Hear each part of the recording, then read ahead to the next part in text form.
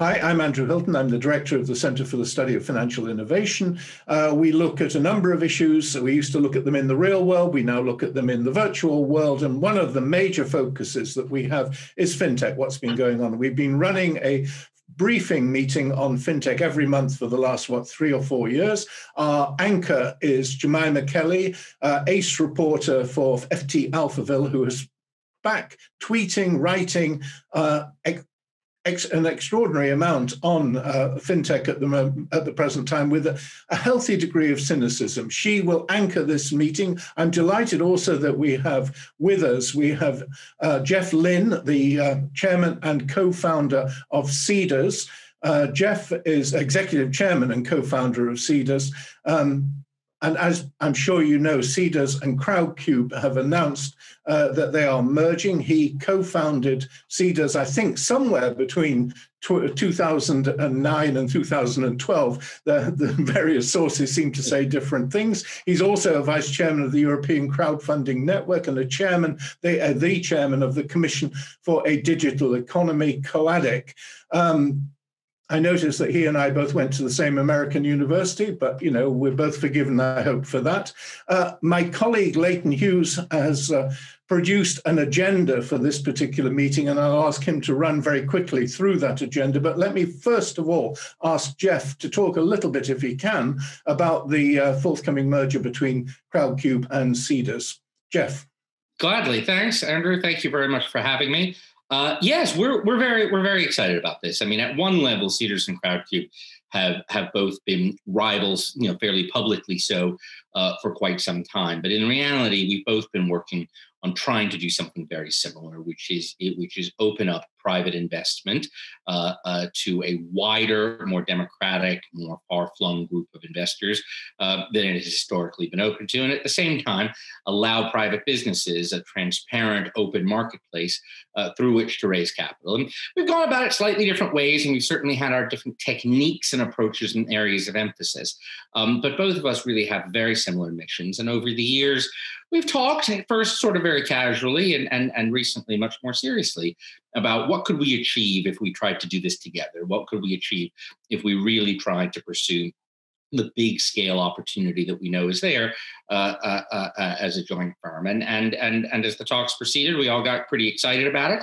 Um, and you know as these things go you know some you know of all the back and forth of the legal and, and documentary negotiations. But but uh, uh, last week we finally got to the point where we were able to sign and announce uh, the deal. Um, we've got still regulatory approvals, a number of other things uh, to go through. So so so it won't it won't close for uh, some months, and we continue to be fully independent businesses operating our platforms and businesses as they were. Um, but we're really very much looking forward to coming together, uh, building on the best of what both of us have built, and building a really great combined fintech business. Well, I'm sure that, that Jemima has some thoughts on this, but let me ask you the obvious question: Is this driven by uh, by COVID, or is this uh, something that has nothing to do with COVID? No, it really has nothing to do with COVID. COVID has surprisingly had little impact uh, at least at an aggregate level on each of our platforms. We've both done pretty well through uh, this period. This is this is a growth year for us. We're significantly ahead of where we were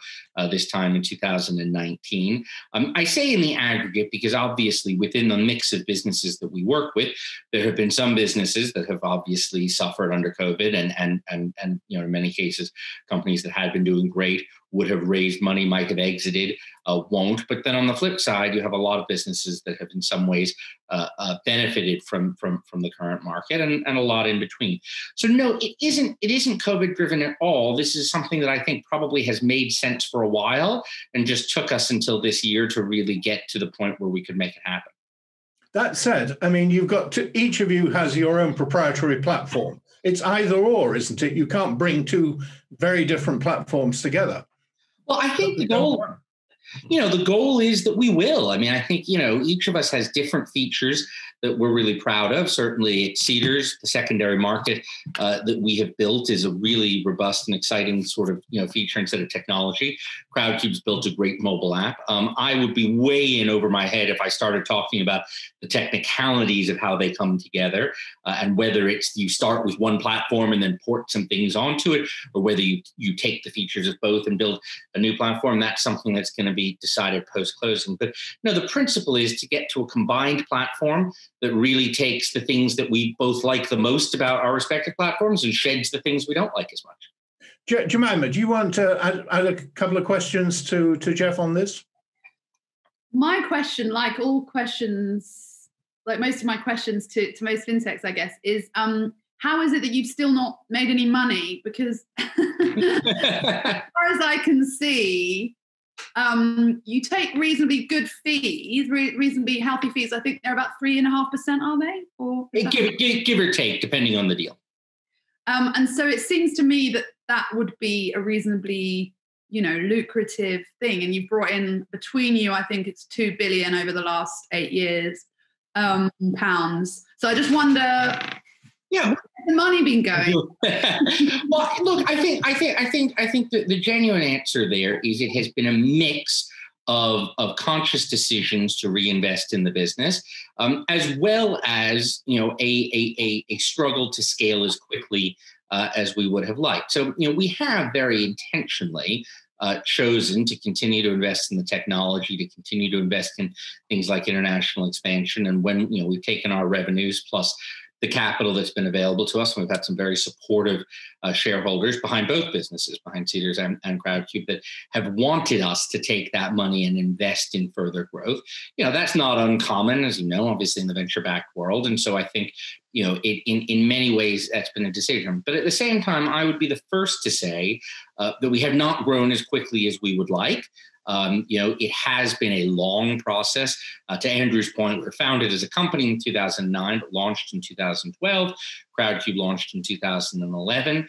Um, this is a long-term asset class. Obviously, it takes you know it takes a while to show the product, you know, the products of what we've done. We're just now seeing in the last year or so the first real wave of exits from investments that were made five, six years ago. So it has been a long slog. It has taken a while and I, and I, do think that you know certainly one of the advantages of being able to uh, uh, uh, come together with with Crowdcube uh, is that we can by having you know one sort of core set of operations rather than two to manage operate more on a more marginally profitable basis uh, than we do today. Okay, let me bring in Leighton. Um, just very quickly, five minutes, no more. Run through the agenda that you would like Jemima and Jeff to cover. Leighton, Leighton Hughes. Yeah, so um, yeah, Jeff has has taken the the main the cherry on top of the agenda uh, perfectly, um, which uh, you know the the company is now valued at 140 million. I read in TechCrunch. Oh, he's parked his yacht outside. I mean, you know, next to his private plane. uh, but I'll, move on to the others. Um, so. Ant's um, lending business is really the driving force uh, behind its $30 billion IPO, and subscriptions are due to come sort of in the next week or so, a few weeks. Um, something really to watch. I know they charge um, 2.4% on every every um, every loan, which is a healthy return uh, for a big market like China. Um, and another was the small be- small businesses um, and the difficulty that they're facing um, in terms of uh, UK lenders um, giving them access to COVID loans. So this is really talking about Tide and uh, some of those um, sort of uh, disruptive firms. Other than that, I one thing that's really fascinated me is the uh, the SPACs and uh, particularly the development of an ETF um, of of SPACs, um, which sounds really scary. Um, but there's a it's called the Defiance Next Gen SPAC IPO ETF, and uh, it actually only has 20% exposure to these sort of very uh, uh, pre-IPO companies. Um, but so 80% is sort of with Virgin Galactic and things like that. So it doesn't even do it capture any of that huge growth. But it's it sounds a bit scary, and uh, I, I, know people are saying you know these blank check ETFs. Um, really making waves. when you see Virgin Virgin Galactic as being the least risky part of the package, you have to wonder. That really is a moonshot. yeah, and uh, you know th- these are. Um, I'm sure we'll talk a lot more about this um, about what SPACs are and things. Uh, other than that, um, we're going to get onto the blockchain, SPACs, and the blockchain, as Jemima has written about recently.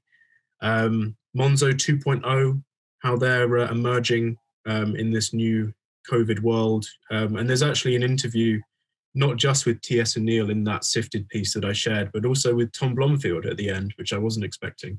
Um, okay, well, let's move on to Jemima. The floor is yours. What's what's been tickling your fancy, and then we'll bring in Jeff, uh, Jeff and Leighton to comment on your comments. Uh, Jemima. Well, shall I just? Um, I'll just start with. I mean, I'll just go down the agenda. So I'll, I'll kind of return to what Leighton just mentioned, which is mm-hmm. Ant and its lending business, because I thought that was a really interesting story because there's some there's quite a lot of um, it kind of starts with this quite a story in the FT starting with quite a kind of anecdotal lead about a guy who like didn't realize that he was using that he was basically buying stuff on credit and so because Ant uh, sorry Alipay which is the payments bit of Ant um, is so uh, is is connected to the the loans. The credit bit is is very is kind of all part and parcel of the Alipay app, and so you're kind of given this um, choice to, or, or you're not even really. It's not even very clear that you are even being given a choice. If you've ever kind of used one of their credit facilities before, it just automatically um, uses that when you're trying to pay and I've actually had this experience with Klarna in the UK. I mean, if I've paid with Klarna in the past, um, I then kind of get automatically that gets automatically suggested to me, and obviously that's all on credit. Um, and so I think this piece is really flagging the kind of risks here, and, and to me, it also um, and i mean there's quite a lot of like the average so so i think there's 500 million people using the credit facility. Um, and the average the average amount was something like around $300 or something like that. Sorry i've lost the actual figure. Um, that people are like currently like oh you know. So that's it's quite a lot of debt um, that they're taking on. They're ma- they're mainly kind of doing that via banks, but they're kind of taking away a lot of this lending from um, retail banks. So they've kind of become like the the kind of um, they have become the direct um, service provider that you would go to for your lots of your financial services rather than going to your banks. They're kind of acting as a kind of middleman, even though the banks might be providing the back end. But anyway, it seems to me that um, you know the, the regulators have already cramped down a lot in China on and some of Ant's other activity, for example, the money market fund, you know, they regarded that as a systemic risk. And so that's like used to be the biggest money market fund in the world. And they've now they've now had to make that a lot smaller. Um, and so they've had to grow this lending business in order to kind of make up for the other bits that they've lost. And so they've had to keep, and they've done it really successfully, clearly. They're about to do the biggest IPO that we've ever seen. Um, and so they've managed to kind of innovate every time the regulator has come in and kind of clamped down.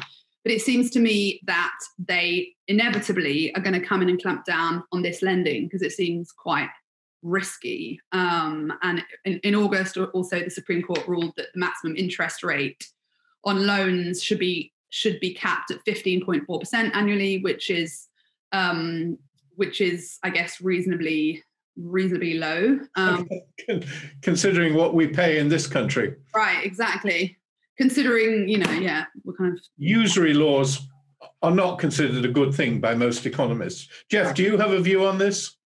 Well, I think two things perhaps just stood out to me uh, in, in, in the article on this. You know, one was the crack, the the the, the clamp, the crackdown, clampdown, whatever you have on on other peer-to-peer lending sources in in in in China. Um, you know, I I remember a few years ago, uh, you know, that you know China was seen in many ways as the sort of the home of peer-to-peer lending. Mean, it was they perhaps you know flourishing in ways that maybe it shouldn't have, um, but it, it, it you know there were a vast number of platforms out there doing it, and I hadn't appreciated until seeing this article that which says about 99% of that is now gone thanks to regulation, which, you know, in many ways I'm sure has been helpful. But at the same time, you know, when you clamp down on the upstarts, you then concentrate power in the incumbents. And as we well know, incumbents don't always use that power effectively. I guess the second, slightly more prosaic observation is you know, forcing credit on people or tricking people into taking credit um, has never worked out well in the long run. I mean, whether you think about the sort of, you know, the subprime housing uh, uh, uh, uh, market in, in the US in the mid 2000s, or you go back to the days of the furniture shops and all that would, you know, ha- you know, give you your, t- you know, sort of persuade you to take your TV or, or sofa on credit. I mean, that's always a bad outcome when people are being given credit that they don't necessarily want. Now, I have no idea here whether part of this is actually an arbitrage play by uh, Alibaba that they're actually sort of playing on the merchant fees, and really these are people who are paying back uh, everything quickly. and Using a credit card just as a payment means is is is is neither here nor there. But if this really is building up a whole pile of unwanted consumer credit, you know, I think we know how the story ends. We do indeed. Bright House was one in the UK. In my youth, we used to call it the never never, and I do think that is still the best the best phrase. Jemima, continue down your agenda. Okay, sure. Um, so the next uh, story on the list is small businesses face ruin as UK lenders block access to COVID loans. So this is a story about um, these bounce back loans that are 100% guaranteed by the government, um, up to £50,000, um, no interest um, necessary. Uh, you don't need to pay any interest for the first 12 months. Um, the problem is, even though there are 28 lenders that are advertised by the government as um, offering these bounce back loans, not all of them are actually currently offering these loans. And the reason is because the government might um, kind of back up those loans, but it doesn't actually provide the money for the loans. So uh, companies like Tide, which um, Leighton mentioned, which is a kind of challenger, challenger business bank, just don't have the money. And so there's been a huge amount of anger at Tide, for example. Um, there's also anger at Metro. And not only have they been unable to lend these people money, it's kind of the whole process has taken weeks. Um, and I've heard from my friend who has her own business that she tried to get a loan through, I think, Barclays or whoever her bank is, and she got it in like, you know, five minutes and I think that this is um, really, I think this crisis is really, I'm actually thinking of writing something on this because I think it's really been quite bad overall for fintech. Because I think what it's done, and I kind of think this theme emerges in quite a lot of the stories we have on the list today, but I think it has been a theme throughout the last several months, is it kind of, um, it just absolutely like um, crushes the idea that fintechs are just like just like as good as your regular financial institution. They can do everything it can do and more and they can do it better.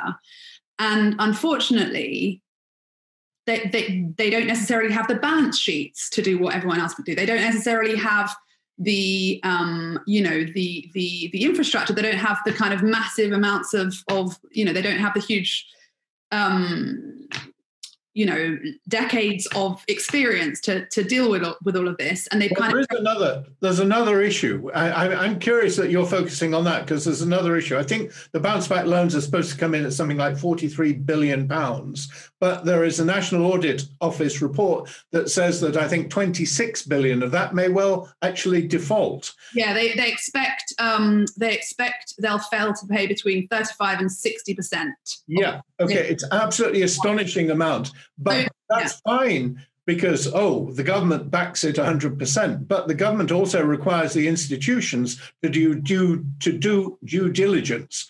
And yeah. if they, they hadn't done the due diligence, the government could step away from its guarantee. So why lend to a dodgy, potentially dodgy fintech, which itself doesn't have a kind of track record? So there's a double. I, I didn't I didn't realize that that there was a kind of um, that there would that there could be potential kind of issues in the future if the government says that the, these companies haven't done their due diligence. I, I would. Jeff, do you have a view on this? Well, you know, it's interesting. I don't think the the default rate in and of itself doesn't concern me. I mean, I think I think these things have to be looked at you know, as something between a loan and a grant. You know, you the government could have chosen to do what Germany and some others have done, which is just write checks to you know every small business um, out there that needed them, and to an extent they have in certain sectors. But I think the notion of structuring this as a loan, but with recognition that many will default, is is is not bad.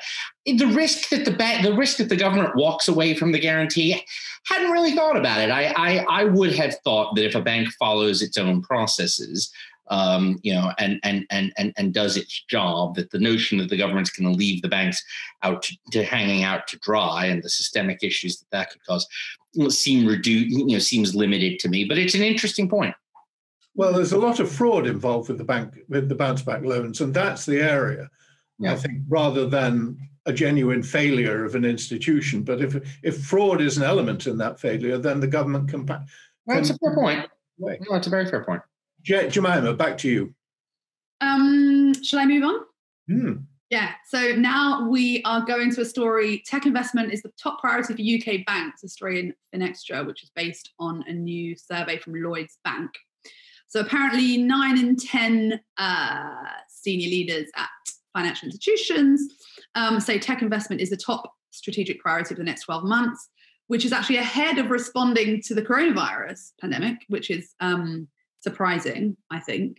And um, I feel slightly alarmed that like no one is properly um, facing up to what is ahead on that note. But um, anyway, so there's, there's, so it's kind of interesting that they put tech um, ahead of of dealing with that. Um, also, there's a nice little nugget. Um, despite continued prioritization prioritization of tech, their focus on blockchain has decreased with only a quarter naming it naming it as an investment priority compared to compared with that should be i think 35% in 2019 um, i would predict as a hardened blockchain cynic that uh, that will continue to decline. But i think it's quite interesting because it's the first time that i've seen a statistic like that um, showing that not only is you know blockchain not doing anything because i've kind of that's that's that it's never been really doing anything very interesting apart from providing the backbone for cryptocurrencies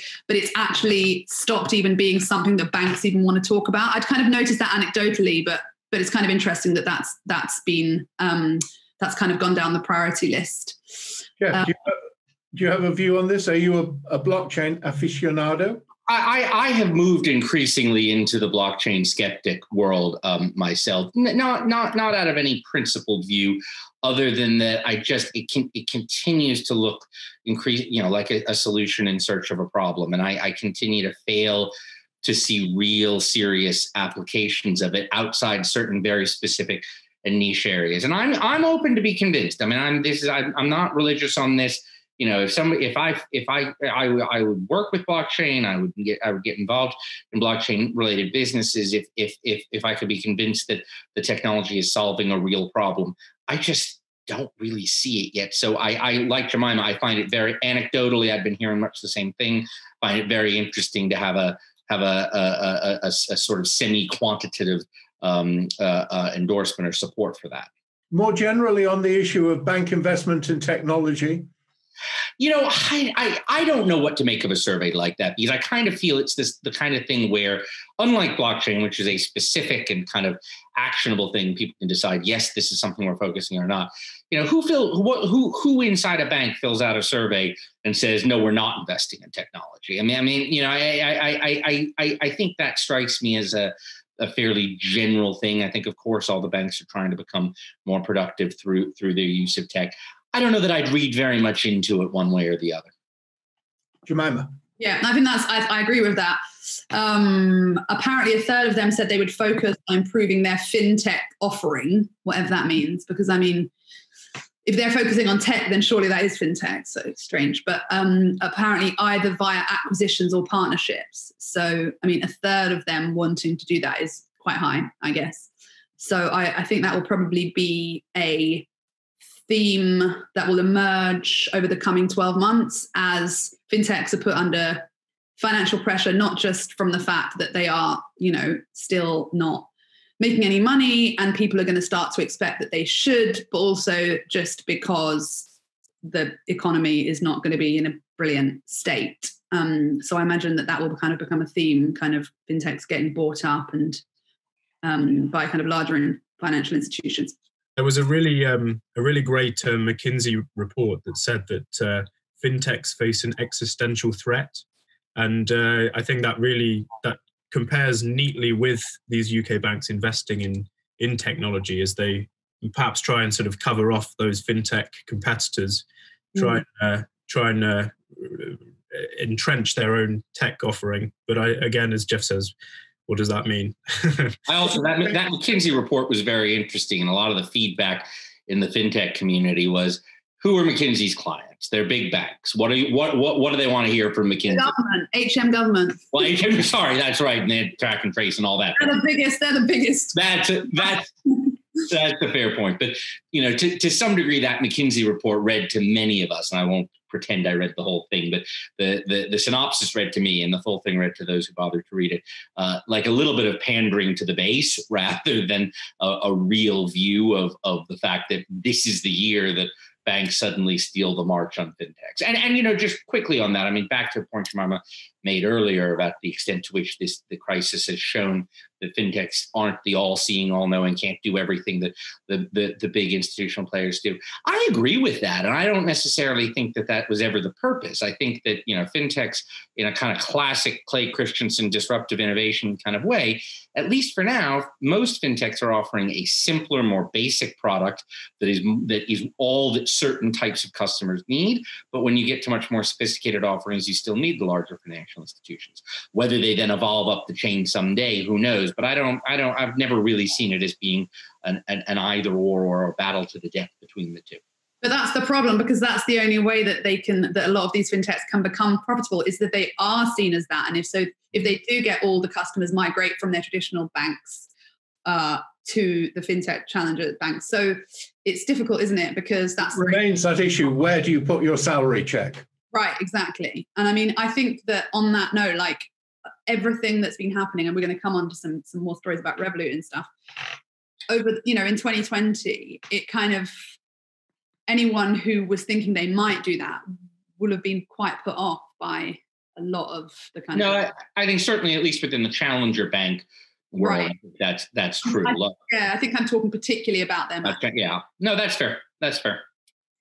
Um, so should we move on to the next one, which is about Google? So Google have deferred an enforcement of fees on their app store. So Androids are like the biggest phones in India. Um, and there's been a massive backlash against this enforcement of a 30% fee on some in, in-app payments.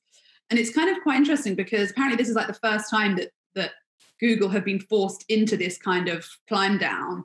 And it really shows, I think, the like, you know, India becoming kind of like a real power in this particular i mean so actually this this article talks about in, india being the second biggest internet market whatever that really means an internet market. But um apparently like there's been a big um pushback from for example paytm which is obviously a massive payments company in india um, and so Google is saying they're extending the time for developers in India to integrate with the Play billing system, and they're holding talks with app developers to clarify the policy but apparently companies um, like Netflix and Paytm had been working around the because this fee system had already been in place, but they'd been working around it by getting people to pay on their websites, um, which I think is what they're trying to now, which Google is now trying to change.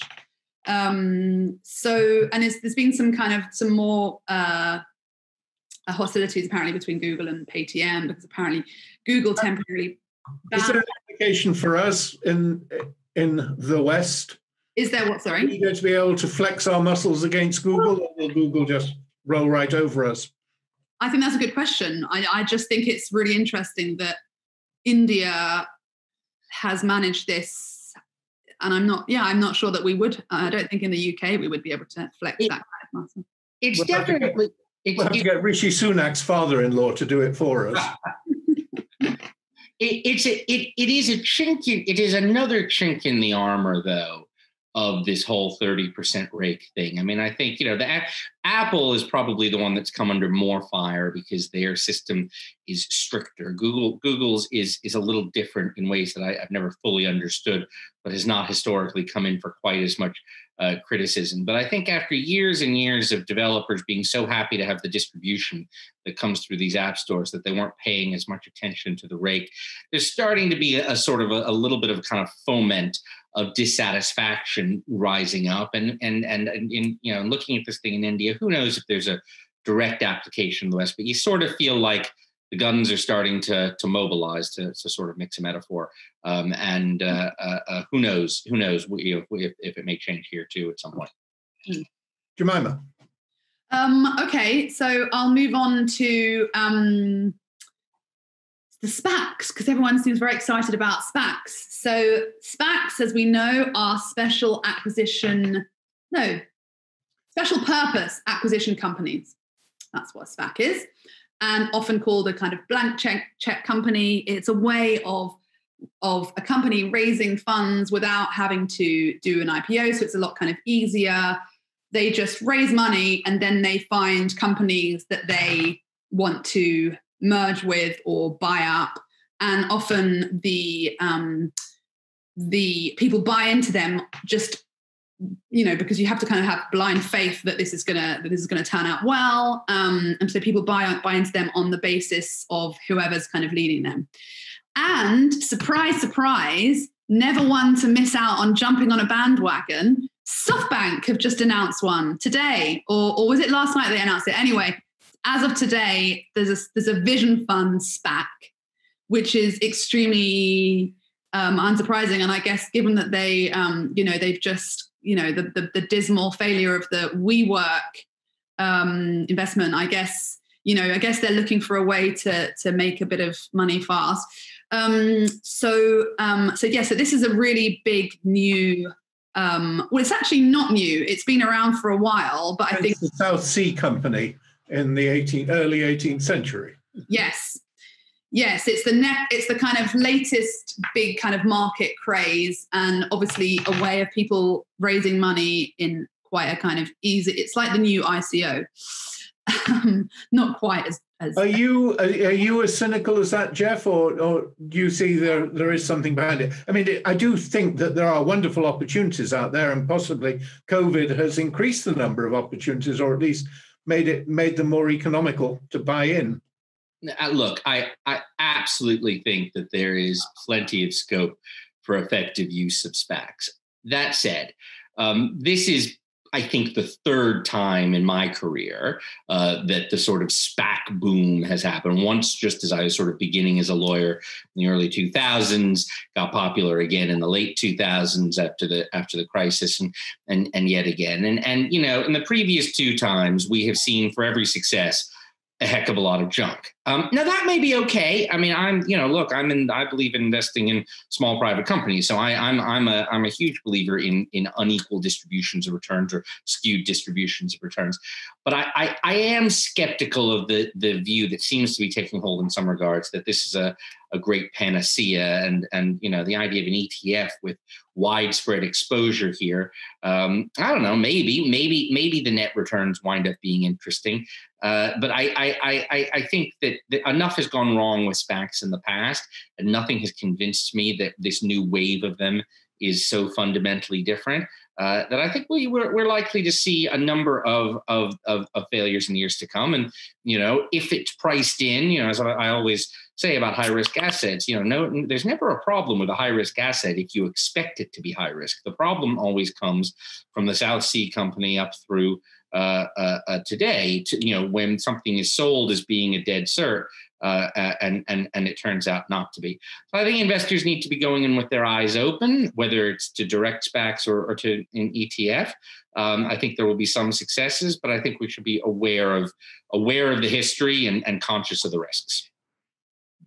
Jemima, that sounds sensible to me. Dead yes. cert to dead cat and I agree with that. And I always say that about cryptocurrencies. Like, you know, if you want a wild ride, go for it. Like, you know, it's just that don't sell this as something that people, you know, some sort of safe haven and don't see it as that. And, you know, just be aware that you could lose all your money and it could get hacked and you could forget your you know you could forget your password or whatever you know all these risks but i agree if you're if you're aware and i guess the etf kind of gives it that gives gives gives the spacs um this kind of semblance of like you know of of um i suppose the, the question that i i would like an answer to is if you're looking at from the from the other point of view looking at it from the point of view of the company that is seeking angel investment, startup investment, round one, round two investment, do the SPACs really look good, or, or is the price that they impose on you too great? Well, I I I, I think that they are a very valid uh, alternative to trying to, to going to the public markets on your own. I mean, I don't think one would take, you know, one, one would likely, as a small business, would be wild about taking an investment from a SPAC in lieu of, say, you know, a private venture um, venture type investment because it puts a whole different set set of burdens on. But where I do think SPACs as a structure can be interesting is that it makes life a lot easier to go public rather than going public directly as a long-term operating company with all of the complexities of disclosures that go with it. So in that regard, I do I, I could see the appeal. And if I were, you know, if I were running a business that were on the verge of going public, I would be potentially interested. Oh, Jemima. Yes. Um, should I move on? When the SPAC met, met the blockchain there's one of mine from Alphaville. Uh, it was only a little story, but Leighton kindly put this on the list. it was just a um, we have a series on Alphaville called the Axes of Evil, which um, is about chart crime essentially. And someone had sent me a uh, slide from an investor presentation from a SPAC called Netfin, which is a Nasdaq listed SPAC that was that um, was uh, planning to acquire this blockchain company.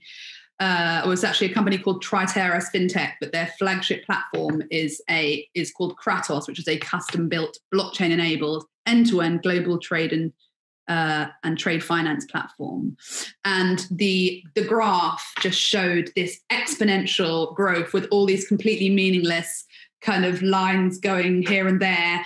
Um, they called it kind of. They said that there was potential exponential, you know, organic growth opportunity and.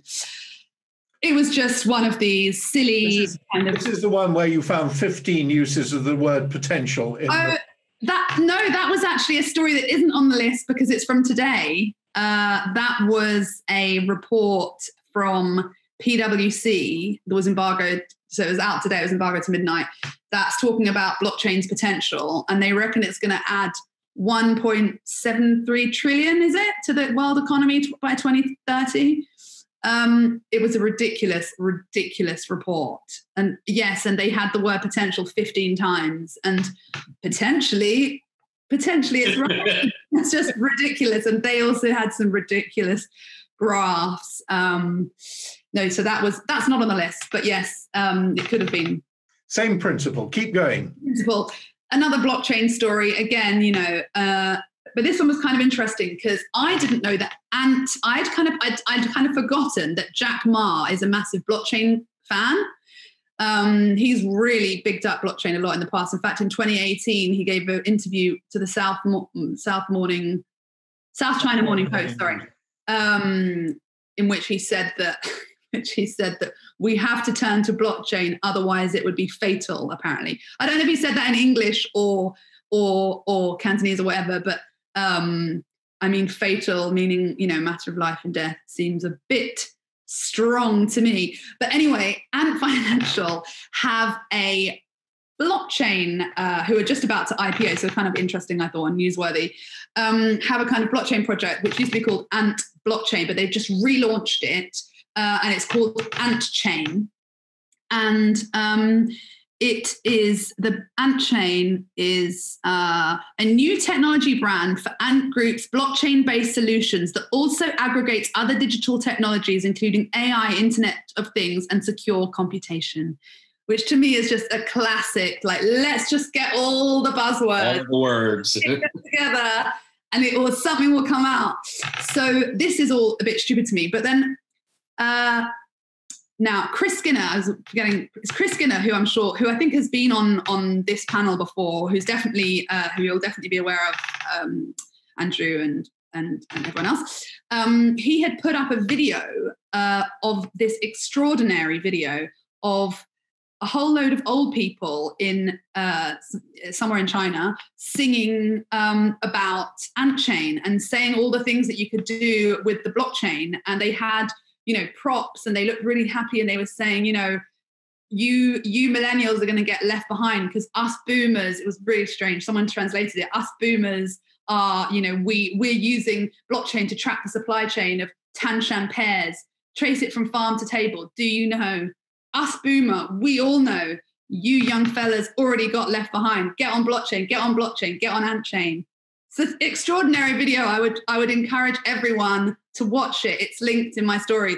But it turned out, because I was like, where has this come from, this video?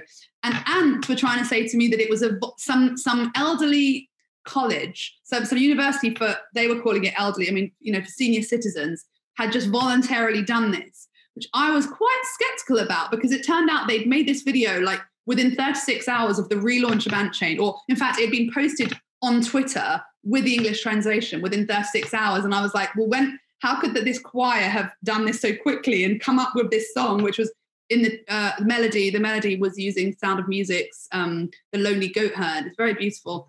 Um, anyway, it turns out actually that this university is the el- this qu- qu- university choir is the elderly University of Alipay choir. So this is a senior citizens college that Alipay sponsors as part of their philanthropic project. And Ant maintains that this this video was made entirely voluntarily, and you know there's nothing. So you can see there's nothing in it for Ant to kind of sponsor this university of you know they can just use them to do these you know free advertising them so and it went viral apparently in china this video um, so quite a good uh, quite an interest i don't know what you'd call that like getting some old people to sing for I guess they didn't pay them because you know they're paying. Oh, oh, oh, don't well, make any assumptions. Well, they said it was voluntary. They said they just did it of their own accord. That's what Ant told me. That's literally what Ant told me. So it's quite a, a, a clever thing that to kind of isn't it, vol- isn't it volunt- Isn't it likely to have been voluntary in the same way that so many things in communist authoritarian systems are voluntary? Yes, we voluntarily support the dear leader. I mean, I, you know, you know, I'm, I, I would hate to suggest that, but you have. So. Okay, move on. okay, so the um, the next story is also one of mine, three in a row. Um, this is about the IPO. So um, I wrote uh, last in September about this bank that the Telegraph had written about called Mode, which is the um, which is a project from a guy called Jonathan Rowland, who is the son of David Spotty Rowland, who is one of Britain's richest men, is a pal of Prince Andrew, went to his wedding. Uh, sorry, no, not not to his wedding. Went to Princess, or was invited to Princess Beatrice's wedding, I think it was, or one of those, one of the one of the Eugenie. Eugenie. I don't know how exclusive that makes him. Well, anyway, apparently he's quite good pals with Prince Andrew. He even got to use his like private jet and stuff. So anyway, um, but he uh, Jonathan Rowland is a serial, uh, well, what I guess he would call himself a serial entrepreneur. I would call him a serial kind of hype meister.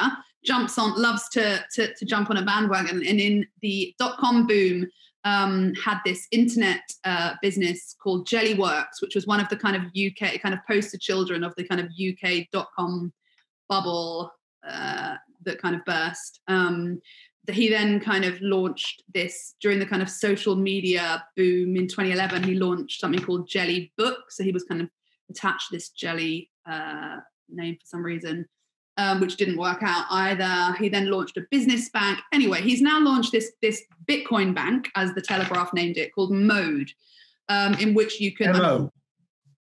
M O D E Mode. Um, in which you can like keep Bitcoin along along with your other currencies. Like, I mean, it's like to me, it just looks like a lot of other com- companies. You know, we had um, who who did we have when we did our Bitcoin uh, video? We had the guy from what's that company called again? Uh, Zcash, Ziglu. Ziglu, Ziglu. So I mean, I don't really see, for example, what differentiates it from something like that. But they reckon they can take on Monzo. I'd written about them last month because I didn't think they looked uh, like very much. Or this guy had kind of come to my attention because he's done, he's kind of jumped on so many bandwagons. Now they've done their IPO, which they said they were going to do, um, and it's just really unclear why they bothered because they raised seven and a half million, which is really small, you know, and they're listing on the main London Stock Exchange. It's not even AIM listed. Um, and it turns out that the only bit of investment that I could find that was not either existing investors or con- directly connected to the family. I mean, like, so David Spotty Rowland is the like second biggest shareholder after Jonathan.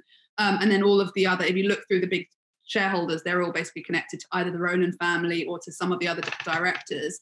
I could only find 1.8 million, which was something that I couldn't directly connect, which was from Premier Miton, um, who'd, who'd invested 1.8 million but the actual listing cost was like 525,000. So God knows why they decided to do this IPO. Was it a kind of vanity IPO? Was it a way of getting, who, who knows, very strange. But the other strange thing was in the IPO prospectus, they had said that some former contractor was suing them and they just kind of mentioned it, you know, you know, in other information. Turns out that this former contractor who did actually begin as a former contractor, but he then became the CEO of Mode. and it's the CEO who's actually suing them, the former CEO, who is claiming that he was actually wrongfully dismissed, that he's owed £90,000 plus 10% of uh, of, of, a 10% stake in the company. Obviously, Mode are saying that they are strongly refuting all of these claims. And I mean, I've seen the particulars of the claim.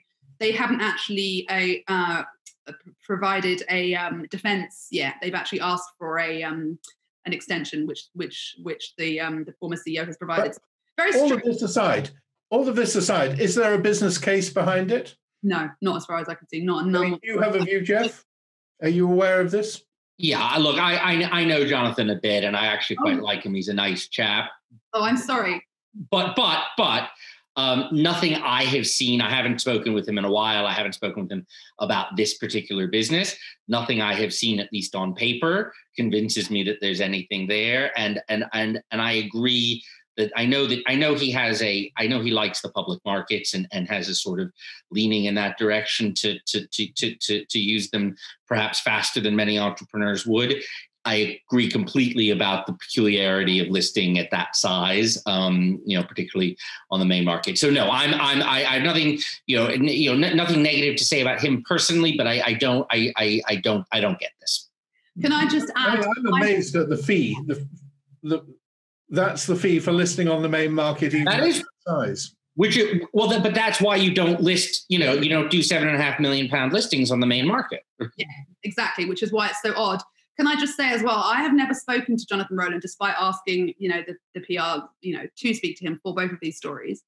But uh, and so I don't, I can't speak for his uh, personal, you know, what he's like as a person, other than to say that on Twitter, after I'd written my last article, he said that it sounded like an unhappy girlfriend writing a text late at night, and he then threatened me with lawyers and he deleted both the texts. So he didn't kind of come across to me as particularly. You, I think you've got your own back. Let's move on. Moving on. EU proposes first set of rules for crypto assets. This is a story from FinExtra. So apparently, the European Union has taken a major step forward in its bid to kind of regulate the crypto market. Apparently, if this goes through, it's kind of trying to uh, you know, um, define all sorts of different kind of crypto assets, including um, stable coins, which have kind of they've been quite uh, have been obviously a growing thing in recent years, and there've been quite a lot of concerns about in terms of you know how much uh, how much should they be backed by, etc., etc. Um, but apparently, so this it kind of in theory this would make the EU the most like um, you know, have the most kind of stringent and kind of robust regulation anywhere in the world. But in practice, it's going to be quite difficult for it to go to, to kind of get through. There are kind of several um, hurdles. It has to be debated by the European Parliament and then also all the national governments. Um, they hope it can be passed by 2024, but it seems like there's quite a lot of um, hurdles to go through before then. Okay. Keep keep going. We've only got about five minutes left. Okay, sure. So um, there was a story here in Sifted about um, that Leighton mentioned at the start about Monzo and um, how it stuffed its executive ranks with what it calls white hairs. Um, very rude. um, people with some experience. Um, they also use a word that I have not come across and that I will not be using ever again, Monzonaut, which apparently have been with the with the the bank uh, since the start. Anyway, so there's some they've they've they've kind of identified 11 people that they think are kind of the, the key players in the new um, revamped Monzo. Obviously, the first of whom is the new CEO, T.S. Anil, who was until recently, until Tom Blomfield stepped down, was the CEO of Monzo America, uh, which obviously they're trying to crack. It's quite interesting. He's never actually met most of the Monzo team, he says, because of obviously COVID. So he's like come into the role in the middle of the pandemic. So he hasn't actually met anyone, which does which seems a tiny bit suboptimal for the CEO. But anyway, uh, he said some interesting things. I mean, when I say interesting, the whole thing was quite funny because it was just such a PR exercise. If you just let people, if you just do a Q and A like that, I mean, it's it's it's. I like actually seeing it because sometimes they're trying to say the right thing, but they're inadvertently kind of giving away something that they probably didn't mean to, perhaps. But his was incredibly PR-y. Um, they say he was asked what is the biggest potential, the single biggest threat to Monzo, and he says our biggest threat is that we don't live up to our own potential. That's just like a classic, isn't it? In like a job interview, like what's your weak, your, what's your biggest weakness? Oh well, that I don't live up to my, you know, that I'm my potential is too big, and I, you know, whatever. It's just a silly humility. humility. Yeah. Uh, and he also says, you know, you know, if Monzo were to sell, which companies would you would you prefer acquire? And you know, oh, we have no plans to sell. Our goal is just to bring an exceptional banking experience at global scale, global scale. Blah blah blah blah. So it's all, you know, quite PR-y, but quite interesting things. So, for example, the chief. There's some other excerpts from other people. The chief product officer says that do you see Monzo more of a tech company or of a finance company? He says it's a false choice and he says banks and finance companies were, in some sense, the original tech companies um, with the first management account services in the 70s. Uh, we're not a purely digital company. We don't operate in the ether. So, again, I mean, he's kind of making the point that I would, which is that why is a fintech any more techy than a bank? You know, why isn't a bank a fintech? It's kind of, um, uh, I kind of agree with that. Um, so, uh, yeah, there's some kind of. I won't go through. I know we haven't got very much time left, so I won't go. Monzo two. What's uh, what's your view, Jeff? On Mon- Monzo Monzo's new leadership. Yeah. Yeah, look, I mean, I I I I think um, I think the jury's very much out. I'm a big believer in replacing leadership uh, as a company grows. I stood down as CEO when it, we moved from a sort of startup to scale up, and uh, uh, uh, brought in a proper CEO. I think it's a good move, and I think most businesses should do it. The extent to which they basically cleaned out their entire upper ranks and replaced so you know in such short order uh, would make me nervous and and and you know I, I wonder if they will be able to preserve much of the sort of culture and spirit that got them to where they are. And you know they've among you know in addition to their quality as a bank and fintech whatever you want to say about that they've been an outstanding branding you know business an outstanding business in terms of generating customer loyalty will that stay? I don't know. I think it's all to to be seen but it was an interesting article and interesting to see the perspectives. Right. Move on to revolut. Okay sure. So um, there's some there's a, a, story here about shares options. Um, there's been some frustration because people employees were, were promised share options and they were in fact um, during the kind of uh, the height of the lockdown they um, the way that Revolut were trying to cut costs was because they didn't actually furlough anyone, unlike Monzo. They were just they kind of carried on pursuing their very aggressive growth strategy, and so rather than cutting any staff, they did they offered um, staff a chance to swap some of their salary uh, for share options. Um, and they could actually be exchanged. So, like one pound of salary could be exchanged for two pounds uh, of share options in the future. So a lot of people did this, but then there's been apparently it's just been really like mishandled, and there's been a massive delay, and some people have left and have not even you know been given anything. So, but re- apparently now it's all. Um, it's all kind of sorted. Apparently, there's still some confusion over the value of how much these share options are, but it seems like it's just a bit of a kind of badly handled internal uh, palaver. Is my my kind of take. Okay, I want to. I mean, we we only got about five minutes left. Yeah. I want to ask you a more philosophical question over the takeover of ARM um, by the proposed takeover of ARM by NVIDIA. And I just don't know whether, particularly Jeff, you're an expatriate who's made a career in, in the UK, whether the UK is in danger of selling the family silver and selling it too cheap. Does this, do, ought this to worry us more than it does? Well, look, I mean, I think as a, a slightly technical and pedantic question, if we were selling the family silver, we already did it when when when SoftBank took its holdings some some time ago. I mean, I, th- I think you know, in, in, in ARM, I think to some degree the ship has sailed.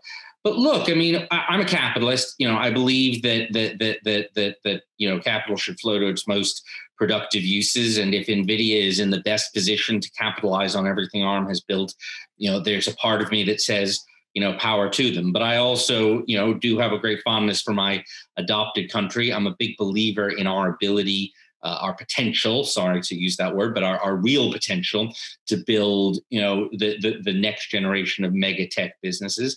And yes, it's a shame. It's a shame that for whatever reason, um, uh, uh, uh, you know, ARM is not in a position or has not been in a position to stay independent and and and you know and primarily UK UK uh, owned. So I'm sorry to see it. I hope um, I hope to see you know I, I, hope that in the next generation of great tech businesses that's being built, simply being sold to the Japanese or the US won't be the go-to outcome. Well, I, I, after all, Jemima works for a, a Japanese conglomerate um, what's what's your your feeling? I mean, the, the FT is um, agnostic on this, but we've had Herman Hauser uh, on this video saying this is a disaster. Um, I, we're about to have a, a, new book by Alex Brummer, admittedly of the Daily Mail rather than of the Financial Times, but we're going to interview Alex. And Alex also thinks this is a disaster. This is, you know, bad for Britain's tech. The fact that we uh, we don't fight for our companies as much, we will lose the, the, the research as we have done in other sectors as well. Does um, what do you feel, Jemima? I mean, instinctively, I think I feel a little bit like it's a bit of a shame, but I, I can't say that I. I don't feel extremely sure about my position essentially i think i don't i don't really know i don't feel like strangely i don't have a strong opinion on this okay.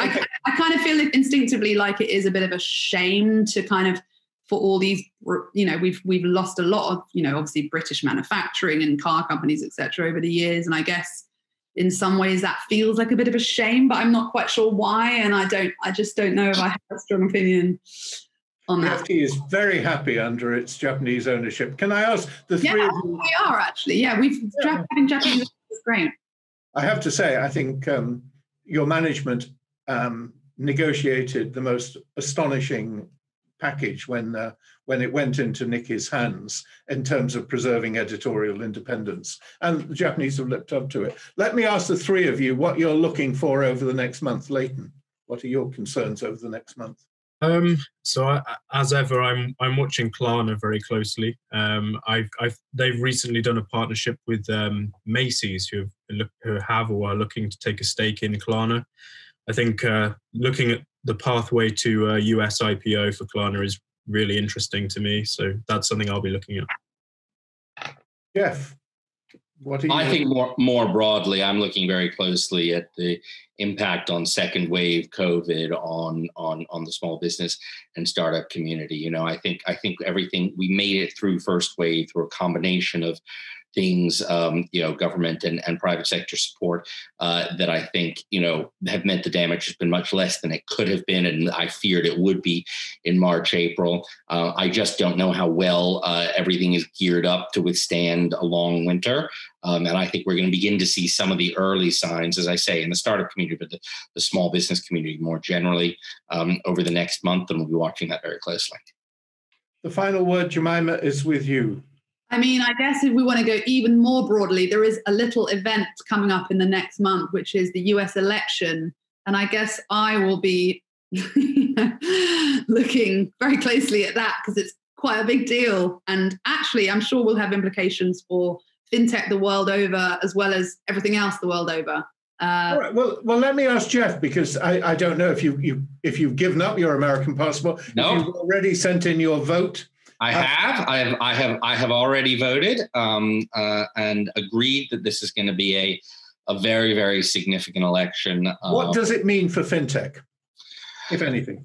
Look, I, I am of the view, um, and I say this as a naturally relatively conservative free markets person, but I am of the view that where the parties stand right now, uh, the the Democratic Party and the Democratic candidate are, are going to are better for you know almost all aspects of the markets, including fintech. I think that we're going to have a more closed, more parochial, um, and simply you know m- you know m- more challenged environment um, under another four years of of Trump leadership. Uh, uh, how that manifests itself who knows? I've, I've, learned enough not to try to predict anything that uh, Mr. Trump does. Um, but I think that the growth of fintech, frankly, on both sides of the Atlantic, will be in better shape uh, under under a Biden presidency. That's despite the fact that part of the Democratic agenda is an attack on big tech, and uh, Alexandria Ocasio Cortez and her friends would very much like to do to big tech what was done to Standard Oil. And I, I look, and I oppose, I oppose that thoroughly, but I think there's a very big difference between Joe Biden uh, and and and AOC, and I think I think the Republicans work very hard to paint them with the same brush. But I think the reality is that you know at least 70% of the Democratic Party is still a fundamentally center-left party. I have very little time for the extreme 30% on the far edge, and they may be effective in moving the Overton window over time. But the leadership that's on the ballot today, I think, is not necessarily going to be aligned with me in all regards of the policy. As I say, I'm a naturally conservative person, but better, but it's going to be better on the whole for the markets and for tech uh, uh, uh, than a Republican administration. Final word, Jemima, having raised the uh, American election. I was just, it just struck me that I guess if Trump were in charge of the UK, your concerns about ARM being taken over by NVIDIA, he wouldn't, he wouldn't be having any of that, would he? You know, he's very protectionist. So I guess you know we could see he he you know it's going to be interesting to see what the relationship with uh, China will be kind of when it comes to tech companies and stuff under a what I expect will be a Joe Biden presidency. Don't assume that there'll be any big change. Biden has his friends in the AFL-CIO who are even more anti-Chinese than uh, the Republican administration. On that happy note, me lecturing others on American politics is probably not very productive, but can I thank you, Jeff? Can I thank, as always, Jemima and my colleague Leighton, and of course you all for watching. Many thanks.